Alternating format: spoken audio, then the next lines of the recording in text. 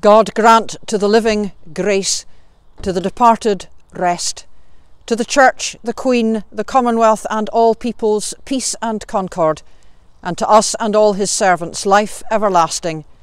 And the blessing of God Almighty, the Father, the Son, and the Holy Spirit be with you. Amen.